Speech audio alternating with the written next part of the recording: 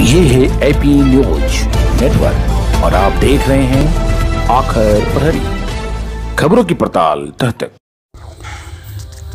सीमावर्ती किशनगंज ज़िले के चारों विधानसभा क्षेत्र में एनडीए को मिली करारी शिकस्त के बाद आज जदयू के प्रदेश अध्यक्ष श्री उमेश कुशवाहा सहित जदयू के दर्जनों प्रकोष्ठ के नेता आज जदयू जिला कार्यकारिणी की बैठक में हिस्सा लेने पहुँचे। आपको बताते चले कि ज़िले के दो विधानसभा सीटों पर जदयू ने चुनाव लड़ा था और दोनों सीटों पर सिटिंग विधायक को हार का सामना करना पड़ा था। बैठक में हिस्सा लेने पहुँचे जदयू के प्रदेश अध्यक्ष श्री कुशवाहा ने मीडिया से बात करते हुए कहा कि संगठन को मज़बूत करने के उद्देश्य से जिला कार्यकारिणी की बैठक किया गया है और हार की समीक्षा की जाएगी। साथ ही नेताओं को हार का सामना क्यों करना पड़ा उन्होंने कहा कि जदयू नेता कार्यकर्ताओं के साथ साथ आम मतदाताओं से भी खुली चर्चा करेंगे कि उन्हें क्या परेशानी हुई थी जो समर्थन नहीं दिया। वही विधानसभा में विधायकों की पिटाई को लेकर बड़ी मछली को बचाने को लेकर आरजेडी नेता तेजस्वी यादव द्वारा सरकार के ऊपर निशाने साधने के सवाल पर उन्होंने तेजस्वी यादव पर चुटकी लेते हुए कहा कि कौन है ओम बड़ी मछली? साथ ही ये भी कहा कि यह कोई मुद्दा नहीं है और वो तेजस्वी को कहेंगे।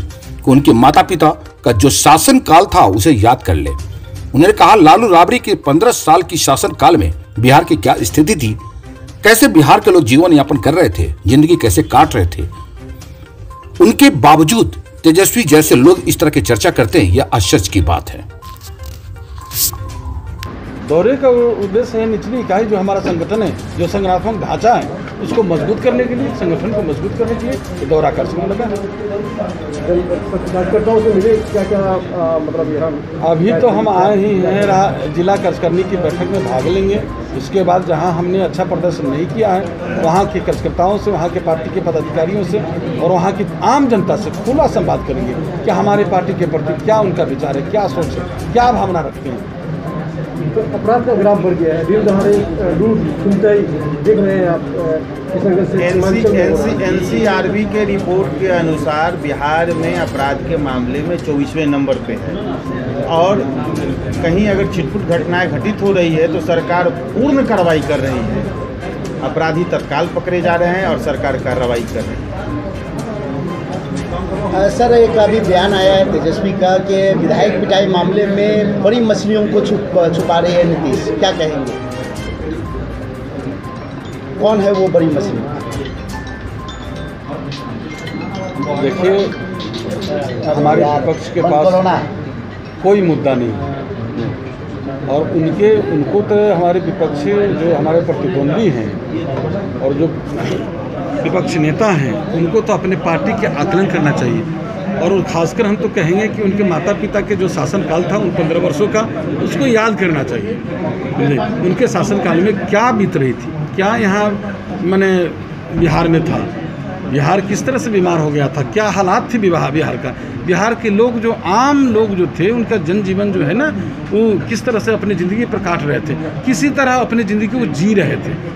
और वो वो इस तरह की चर्चा करते हैं। आश्चर्य लगता है। धन्यवाद। आज किशनगंज जनता दल यूनाइटेड की जिला कार्यकारिणी की बैठक में भाग लेने के लिए हमारे साथ चल के कई प्रकोष्ठ के सम्मानित प्रदेश अध्यक्ष भी आए हैं और कार्यक्रम में निश्चित रूप से पार्टी के मजबूती के लिए विचारधारा और हमारा जो विजन है, अपने पार्टी के पदाधिकारियों के साथ हम लोग संगठन को मज़बूत करने के लिए चर्चा करेंगे। और मैं सबसे पहले यहाँ जो हमारे जो नवाब फ़कीर उद्दीन साहब का जो धरती है, इस धरती को मैं सबसे पहले प्रणाम करता हूँ, सलाम करता हूँ।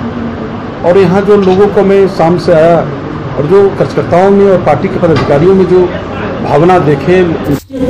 विधानसभा चुनाव परिणामों के नौ महीने के बाद की समीक्षा करने पहुँचे। जदयू नेताओं को सफलता मिलती है और पार्टी कितना मज़बूत होता है, ये तो आने वाला वक्त लेकिन फ़िलहाल यह चर्चा जोरों पर है जो